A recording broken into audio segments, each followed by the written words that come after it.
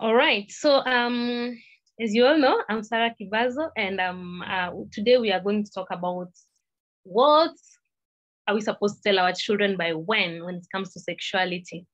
Uh, I was just having a, a, short research that shows that, you know, uh, when children are told about sexuality by their parents, they make better choices, which are less risky. And, uh, you know, if, if you want your child to grow healthy, you need to be able to talk to them earlier so that they can be able to make decisions that are responsible even as they face their adult life. That means that we will be able to teach them consent. You know, consent is when uh, you're able to tell your child, if somebody does this to you, you need to say no. If they do this to you, you can say yes. So you're able to teach them consent no matter the gender. And in the long run, you will be giving them safety in the cycle where they are. So uh, when you talk about what by when, you know, many parents assume that their children are young until they're around 30. You're still thinking, oh, my child is very young, my child is very young. Only for you to realize that, you know, by can you imagine by the age of eight years, most children are exposed to porn. And sometimes it's by accident. And sometimes they don't know even what to do about it. So um, talking to them actually gives them a background, you know, gives them a place to, to go back to a safety landing. It also makes them be informed so they can be able to make proper decisions when, when they need to. Uh, I always say that knowledge is empowering. And uh, when you give them tricks and you give them some tips how to navigate when they're faced with situations, because these situations can come when you're not even there uh, situations can also come when you're not at reach. You cannot be able to rescue them or help them. So when they have a when they have that knowledge, they know where to land on. And uh, having a proper background from our parents help them make better and better decisions.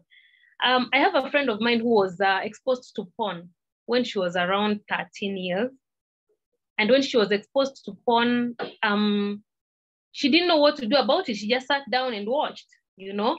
It was her first time, so she just sat down and watched.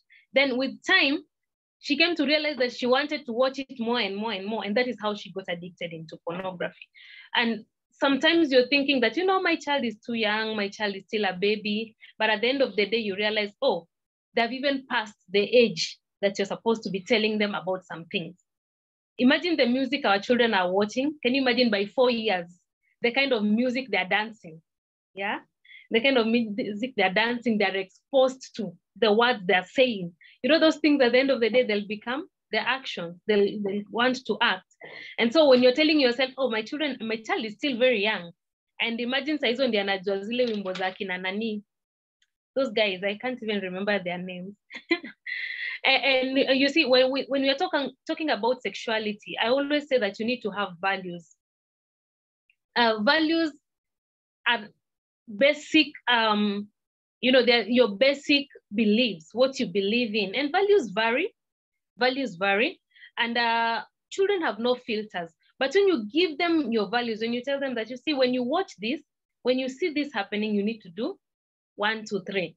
Or rather when you when, when they're already exposed imagine a child who is they're coming to you and probably they're already exposed already addicted already you know what do you do about it? That is why actually we are here. So I'm going to just take you through that. Um, some of the tips that I normally give parents when a child comes to you and maybe they're already exposed, one thing, maybe they've come and shown you like, uh, mommy, look at this, or daddy, look at this. Or maybe you've come to realize, oh, my child is already at this. What are you supposed to do? Most parents, we shout. You know, you can shout at the kid or yell at them. Ini nini what? You happy, you know uh, or sometimes you're panicking. Okay, you're like, uh, oh my God, my child knows these things, or my child has seen this. Uh, or sometimes you want even to send them away. You know, like sometimes they come and ask you, Mom, babies come from where? And then you're like, ah, maza. Or you want to avoid that content. So instead of doing that, you need to be very calm. And I normally tell parents, you need to just try and be calm. Just try and behave and tell yourself, you know what? Well, if you're not ready to talk about it, then tell the kid, you know, we'll talk about this later. But if you're ready to talk about it, then you need to act very calm. It's like, um, you know, it's, it's a normal situation so that by you acting calm, you're actually helping that kid to, you know, to be able to relate to you, to be able to see that this thing that they are facing is not something that is supposed to be shameful, that somebody is supposed to hide from, okay? Uh, like in our culture today, girls have been so uh, objectified, meaning that they have been made to look like sex tools or something like that. Uh, and and if if we are we we are giving we are not giving them values at a young age, they grow up believing that you know what we are tools to be used by men for their own pleasure, for them to see what they want to see, for them, you know, to expose their bodies, they want to expose their body. But now when you give them values at a young age by telling your child, this is the way you're supposed to dress, this is the way you're supposed to sit, this is the way you're supposed to talk, you are actually giving them a background to, to rely on when they are faced with certain situations.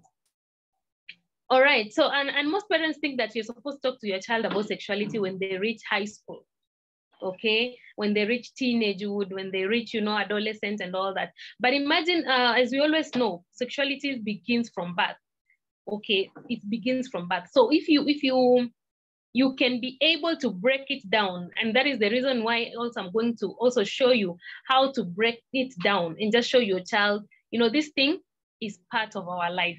Today we are not going to use slides. I'm going to use some of my write-up. And i'm just going to show you uh, I don't know if you can see that. Oh no, it's not a good one. It's not a good one. I won't be able to, to show you then. Oh, you can be able to see it. You can read it? All right, yeah. So when you talk to your child earlier, uh, or rather when you start talking to your child about sexuality, they're able to make better choices. They're able to, you know, to live healthy, uh, a healthy body image, and they're able to know what to say yes to and what not to say yes to. Okay, consent, all right? And again, another thing that you're also helping them with is this, okay? They won't be ashamed about sexuality. They won't see it as something that is secretive. When, when something like that comes across their way, you know the way we used to hide when it comes to maybe your periods, you don't want to ask, when it comes to you, you know, your, your body image changing. I know like boys maybe the, the wet dreams have begun, they don't want to ask because they feel like something shameful. But when you begin these talks with them, they will see it's not something shameful. And again, they won't rely on media and their peers. Okay, that is another thing. They don't rely on media and peers. And another very important aspect is that they'll be less, uh, they'll be less um, exposed to sexual abuse. Okay, and even if it it it there happens, the child will be able to know the, the right person to talk to. Okay. Uh, another thing is that don't be able, don't look for love in the wrong places, which normally leads to, which can uh, lead to maybe early pregnancy and teenagehood and some early marriages and eloping, you know, when they're looking for love in various places that are wrong. And I just want to give you a caution if you feel like you're you you you are late in talking to your child because as i'm going to take you through the, the, the stages you, you might feel like you know what i'm late i've not talked about this and that.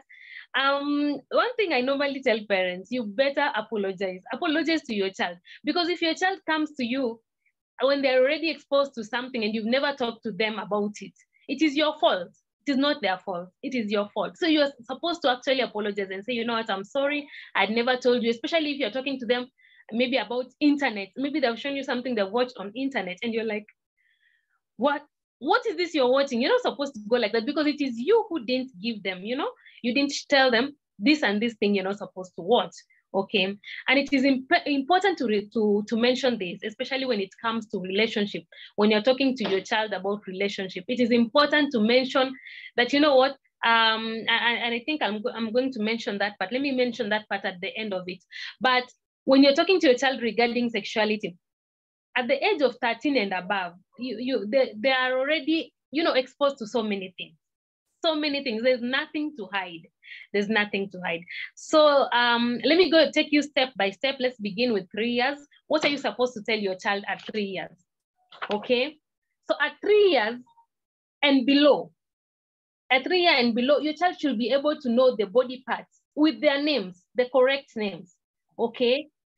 At three years and below, they're supposed to know their body parts and the correct name. It's not the time to use the choo-choo and the whatever. You're supposed to tell them this is a penis, this is a vagina. And the reason why you're supposed to do that, it helps even when it is uh, somebody molests them or somebody touches them and they need to say, they will be able to say, that person touched my vagina, this person touched my, my penis. And in that, they can be believed even in the court of law because it's, a, it shows that the child is assertive okay so the, at that time they're supposed to know their body parts they're supposed to know who is supposed to touch where and where and again, at three years and below, you should be able to teach them consent. Okay, tell them that uh, so and so should not touch you here, so and so should not do things to you. That song of these are my private parts. It's something that should be you, you should echo it. Let not leave it to the teachers alone. Echo it even when you're bathing them, when you're dressing them up. Let them know these are the parts that people should not touch. Because um, if you look at it, most of the things children are taught in school, they think it's for school purpose. But when you echo it, you make it look like, you know, it is this something that we're supposed to be doing. It is real, it is, yeah, they, they become, they begin to absorb it. So let it not just remain as a song. Come back home and affirm it and tell them, okay? So at four years, this is what you're supposed to be telling your child at four years. There is the body parts aspect, there is the consent aspect, and there is the safe circle. When you talk about safe circle, I've talked about body parts and consent. When you're talking about safe circle, we mean the people who are safe to them. Just in case I'm not around, you can tell auntie so-and-so, you can tell uncle so-and-so. Just in case mom is not around or dad is not around, these are safe, safe uh, people whom you can rely on. So you're supposed to expose your child to the safe circle, expose them to the safe people that they can be able to rely on. Okay, that is at four years. At four years also, we realize that children are, um, are very inquisitive. They're asking a lot of things. Where do babies come from? Well, uh, you know, why, why is it, is he a boy? Why is it, a, is, he a, is she a girl? When they ask such kind of a question, be ready to answer them. Be ready to answer them. Be factual, give them facts, and uh, also give them values. And as you're doing that with four-year-olds, you use very short words, use very simple words, don't make it so ambiguous, you know, make it short and simple, make it also easy for them to understand. Another aspect is this. At five years, five years to seven years, your child should be able to know about sex and where babies come from, okay?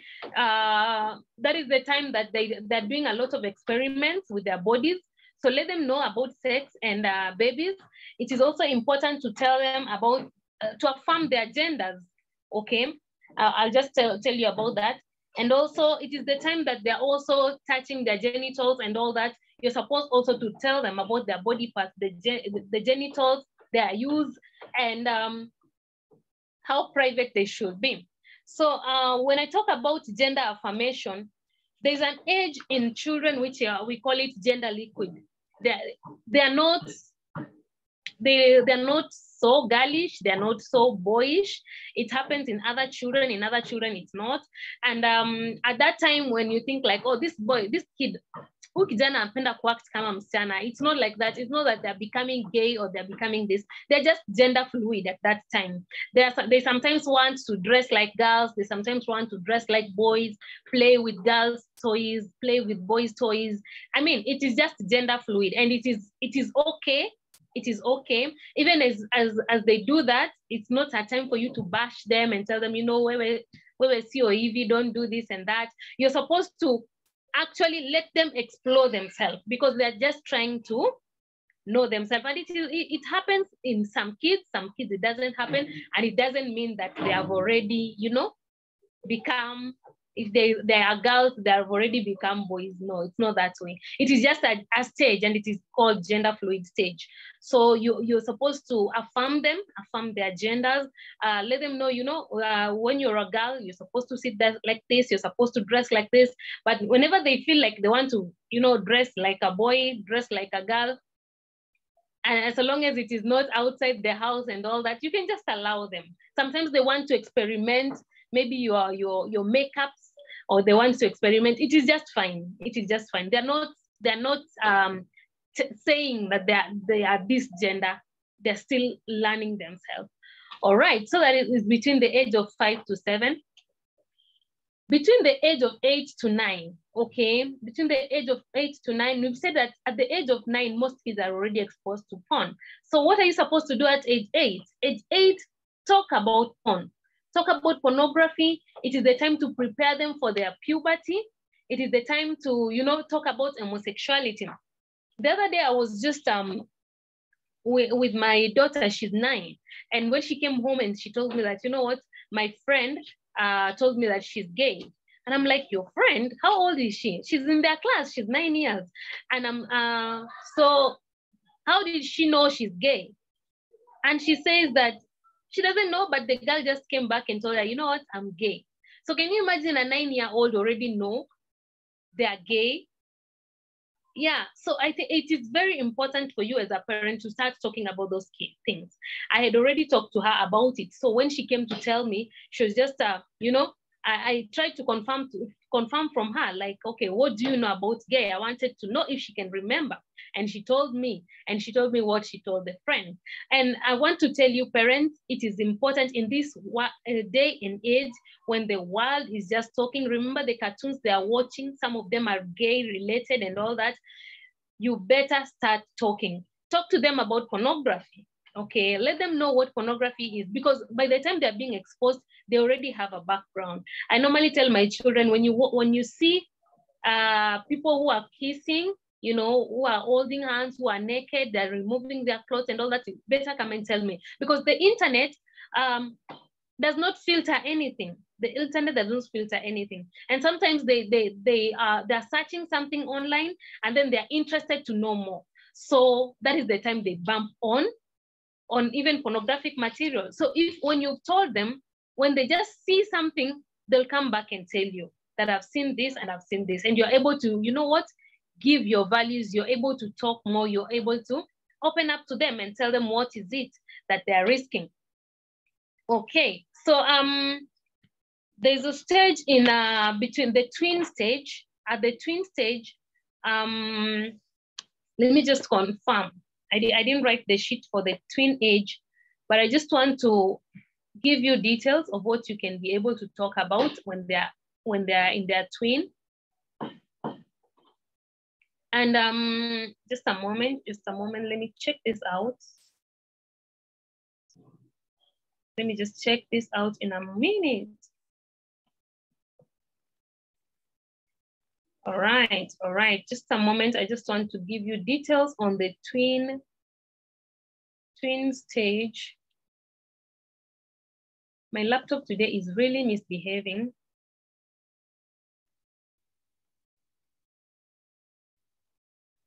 It's really misbehaving. So when they, the twin stage is actually between 10, 10 and uh, 12. That's the stage we call the twin. They're not yet in a teenage, they are there, they're just there. So what are you supposed to talk about when they're just there, you know? What are you supposed to talk about? You're supposed to, just a moment. All right, so uh, at the twin age is the time for you to revisit the puberty talk, okay? Get real, okay? Get real with them at that time. Talk about sex talk about attractions. Uh, many times I've talked to you about sex, so you know how to talk to your child when it comes to sex. Talk about attractions and value. You know, that time they're attracted to the opposite sex and all that. Give more internet cautions. Tell them about the internet world, what, what it is all about, uh, and how they're supposed to behave online and all that and you can they can ask you questions about everything and anything at that time. So you should be ready to answer them. And even if they don't ask be ready to initiate conversations. I've given you details how to initiate conversations. You can check in the um, in some of the videos that we have. And um, keep your values sane at that time. That means that if you're preaching water be that water Okay, also drink that water. Don't tell them water and you, you are drinking wine. So keep your values sane. It's for, the, for their own sake. That is in their twin, uh, their twin age. That is between 10 and 12. Revisit the puberty talk. Talk about it. Talk about puberty. The body changes. You know what they expect. If it is the wet dreams and everything, go, go into it. Go full into it. Tell them. Tell them all the things they expect, the menstruation and all that. So you should be able to equip yourself in those areas. And as you keep on with us, we'll be also digging deeper into puberty changes. So at the end of, of 13, age of 13 and above, actually is the time when you're supposed to, you know, talk about everything. At this time, children know almost everything. Don't hide anything from them. Talk about sex, talk about contraceptives, talk about, you know, dating, talk about, um, yeah, you can talk about dating, contraceptive, masturbation, STIs, peer pressure, talk about them, talk about them. Allow them to ask questions, be calm with them, appreciate their friends. They really love that. Appreciate their friends. Talk and uh, keep initiating topics. Okay, and do more of listening. Listen to them a lot because they love listening. And I want to just to caution you, parents. Sometimes you may begin these talks and your child is like, "No, I don't want to hear it." Our our our oldest daughter, she was like that. She uh, even at twelve, she would never want us to talk about anything sexuality based. But of late, but we kept on pressing on. We kept on pressing on, and and right now we she's 13 and we are almost talking about anything, anywhere. You know, she she's just open with us. So keep pressing on, even if you you you feel like you know they don't want to hear from you, they don't want to talk to you about it. Don't give up don't give up keep on pressing on keep on opening up those topics remember how i told you how you're supposed to you know be able to talk to them when it is an, open space and all that. When you're talking to, to your, your, not an open space, but when you're doing an activity, don't make it a lecture, you know, don't make it a lecture. Don't make it look like we have to talk, sit down. This is the time to talk. No, no, no. Make it a fun thing. You can talk, you can talk to them when you're having, when they're having their own, maybe you're, you're doing some dishes, you're cooking, you're doing some fun activity, you're playing with them some some games or something, and throw in a talk, throw in a topic. Or of late this week, I've been talking about grabbing opportunities. There are many opportunities that can set up themselves and you're able to take the opportunity and start talking about a particular topic. I just wanted to mention this for the sake of parents who have teenagers. When it comes to relationship, it is important to mention to your child that, you know, anybody, if they're relating with anybody, anybody who brings up the topic of sex, and they're just in a, they, they want to relate or they're you know they're, they're friends with them that is somebody that should always throw a red flag. Yeah that is something you can tell them. That's a red flag if they hear their friends or their you know their counterparts want, want them just to talk about sex or rather they want to have sex with them. It is it is a red flag okay? Because true love starts with being conscious. That is that is what i normally tell teenagers. If you are in a true love relationship the other it starts by you being conscious of the other person being conscious of their needs being conscious of what they want to become being conscious of what they want to achieve in life uh, where they want to be you know and you want to be able to help them to achieve that purpose okay? Any friend who leads you into sex or in a relationship that you know wants to lead into sex just know that that a red flag. That's one thing you should be, just a tip that you can give your girls and your boys. Yeah, because when it comes to sex, you want to get there when you are ready. You're ready for it. You're ready for everything. You're ready for marriage and all that. Uh, so if, if somebody comes up with such kind of a topic, just know that, you know what? This is a red flag. So that's about it. That's about it. That's about what and when we're supposed to talk about to your child regarding sexuality. And I want just to tell you, parents, not not every parent has everything, you know, compact. Not, you know, like you can be able to talk about everything to your child. Sometimes it is good when you you when you release them to somebody who can be able to talk to them, somebody whom you believe have the same values as you. Okay. And um, it is fine. It is very, very fine if you can be able to release them to somebody else. Things that you can be able to handle, handle them, okay? And, uh, but always try, always try so that they can know, even if you're releasing them to somebody else, the buck still stops with you. Okay, the buck still stops with you. They can always um, be confident with you. They can always talk to you. They can always come back to you to check on the things that they want to check on when it comes to sexuality. So this is about it. That's about it. I've come to the end of my talk. I don't know if there's any question or any suggestion or any ideas that you want to send across. I'll really appreciate. So um, you can come back on and just talk to me and tell me, um, maybe you can write a question on the chat or maybe we can just discuss. I'm going to stop the, the, the recording so that it can be easier for all of us. Okay, thank you.